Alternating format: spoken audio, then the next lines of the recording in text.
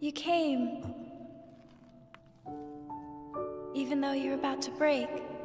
Hmm? That's a good sign. So, why did you come?